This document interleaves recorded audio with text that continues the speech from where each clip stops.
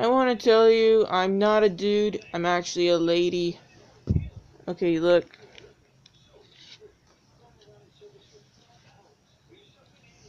I'm a pretty girl.